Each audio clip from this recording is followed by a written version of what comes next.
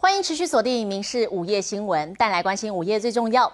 好，首先是最新的外电消息，英国国会同意了首相强森提前大选的要求。那么强森也是依法向女王来报告解散国会一事。那么这也意味着英国大选即将重新开跑。好，焦点要回到台湾来，知名的 KTV 业者钱柜，经传消费者各资外泄，还被诈骗集团利用解除分期付款的手法来行骗。好，光是一个月通报数就高达了七十二件，刑事局已经通知了钱柜要留意并且改善。他，来关心的是好消息，台湾名模林志玲将在十一月十七号于台南美术馆举办秘密婚宴。好，晚间体坛的最新消息也是好消息。我们带来关心的是世界棒球十二强赛 B 组预赛，台湾晚间是对上委内瑞拉。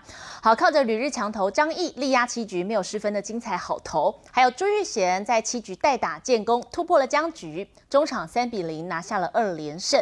好，另外今天 B 组呢，日本也赢球了，台湾队提前锁定六强复赛的门票。之前发生在高雄市街头的直播主之乱，那么卷入了连千亿之乱而爆红的直播女郎翁子涵，她也不断的被爆出有黑历史，包含说被富商包养等等。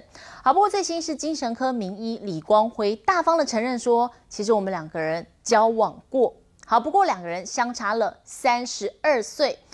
李光辉他出面面对媒体镜头的时候，表示说，翁子涵他虽然家境不好，但是力争上游，频频的帮前女友护航说话。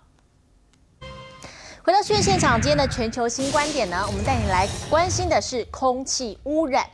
印度每到十一月份，尤其是特别这个时候。就会飙高的空污指数又再度爆表了。那么，其中人口高达两千万的首都新德里，空气当中 PM 二点五的浓度超标了三到五倍以上。有的民众索性是逃到外地来避难。那么，留守的人也出现了大量的就医人潮，引发了民怨。